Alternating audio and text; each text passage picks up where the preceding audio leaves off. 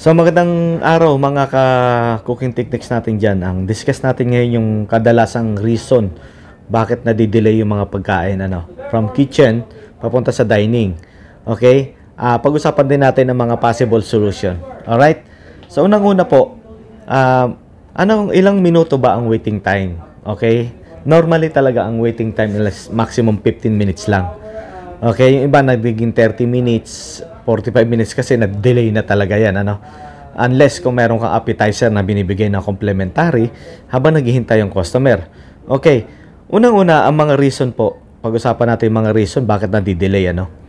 Ah, first of all, yung first, ah, napakaraming options sa menu. Okay? Pag masyadong maraming pini, ah, options sa menu, marami tayong kailangang i-prepare. Okay? And then second is, hindi enough yung tao natin para i-prepare yung maraming ah, menu option. Okay? Kasi especially, ah, ito yung mga option, ano, meron tayong relleno, meron tayong isaw, meron tayo, lahat piniprepare natin from raw materials. Binibili natin yung baka tapos ah, mga palalagayin pa natin ng 3 to 4 hours. Okay? Yun, isa na yun. Tapos, ba, gagawa ng isaw, marami. Tapos, gagawa relleno tatanggalin yung buto, etc. etc. Masyado po tayong masyadong maraming option, so marami tayong piniprepare. Especially nga, sabi ko nga, kung magaling pa sa raw materials yan. Unless may supplier ka talaga pagdating dito, naka-dumplings na yan, balot na, etc. etc. Mga ready na. Okay, yun ang kadalasang uh, reason. Pangatlong reason is yung ano, yung yung um, Pangatlong reason is uh, yung 86 natin, yung hindi available, ano? Hindi okay. Hindi available pero hindi pa rin natin dineclare na hindi available. Pinipilit nating gawin na maging available ang isang pagkain na hindi pa ready. Ngayon, for example, uh, meron tayong daing na bangos na order. Ngayon, ubos na yung daing natin. Pero pipilitin natin kasi may nakadepros naman na daing. Ngayon, idadaing mo yun. Pag may umorder, idadaing mo, lagyan mo ng asin, etc. Ngayon, hindi na siya marinated ng maayos. Pagkatapos, pipilitin mong ilabas. Okay? Kami po, hindi naman talaga ina-accept yung hindi available, ano, or tinatawag natin na 86. Pero, kung talagang hindi kaya, and then later on, magiging cost lang yan na magiging delay ng iba pang food orders, is mas mabuti pang i-declare ng 86 kaysa sa maging domino effect yan pagdating sa huli. Okay. Pang-apat na reason is hindi enough yung oras natin. Ano pong ibig sabihin? Pumapasok tayo 1 hour lang before ng opening. Eh pagdating pagdating pa lang natin 1 hour before opening, sunod-sunod na yung customer.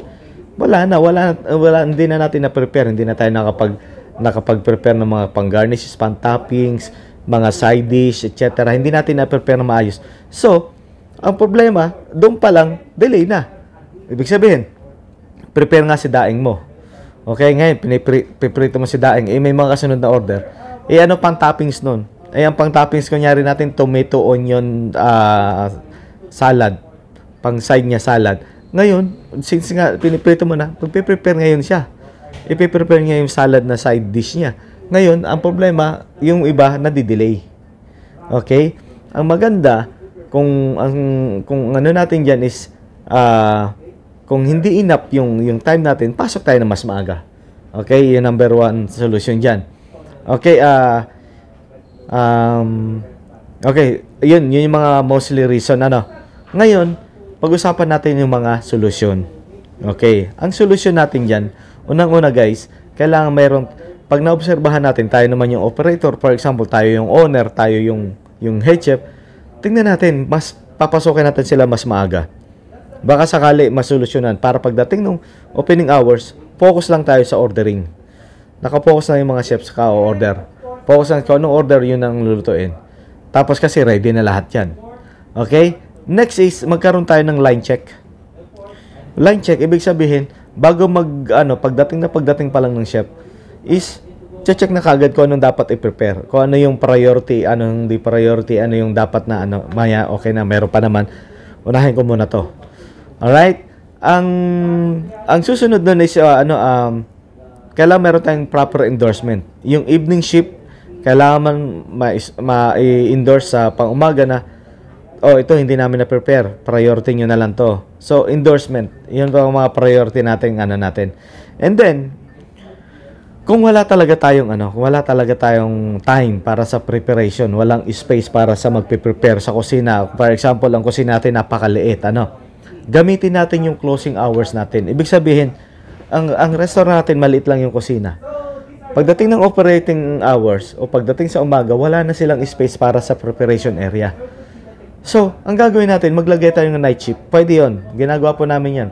Night shift. Ang gagawin ng papasok sa night shift, parang yung pagbibaking. Eh. 'Di ba? Sa gabi, i-bake, ano na, mamasa, etc. papaalsa. Para pagdating ng pangumaga, salang lang sila na salang, nakaalsa na.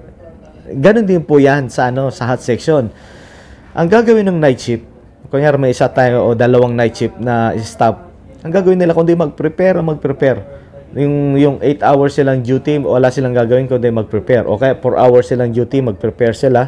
Okay, para pagdating ng morning shift, may 4 hours pa silang duty para tumulong.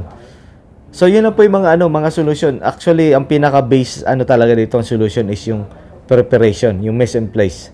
Okay, kailangan stock natin is ready.